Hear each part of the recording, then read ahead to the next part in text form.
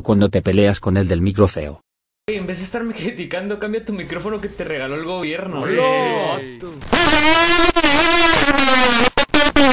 ¿Qué